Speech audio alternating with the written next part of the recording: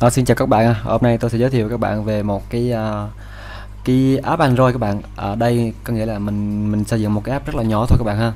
Nghĩa là các mình sẽ đưa cái dữ liệu nó lên trên cái server, từ server mình truy cập server đó, để mình có thể đọc giá trị gì uh, các cảm biến các bạn ha, để mình sau là mình coi các bạn ha.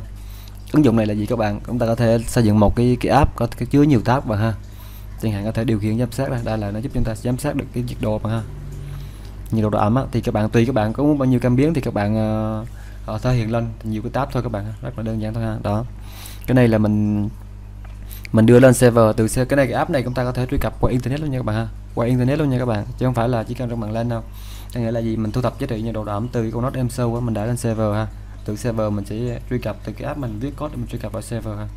Từ server mình sẽ có được giá trị nhiệt độ độ ẩm mà thấy không? Và bạn coi đợi nó cập nhật một cái nữa là mình kết thúc ha các bạn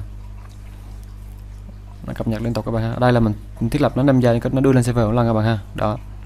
Thì để mà viết được cái cái, cái biểu đồ chart này thì mình thông thường là mình sẽ biết có ba cách các bạn ha. Thứ nhất là mình dùng cái gì à, MySQL từ cái thằng uh, MySQL sử dụng kết hợp PHP ha. Thứ hai là dùng uh, MySQL Lite thứ ba là dùng Firebase. Mình có thể dùng uh, gì uh, TeamSpeak vân vân. Rất nhiều server các bạn ha. Rồi xin chào các bạn chúc các bạn ngủ ngon.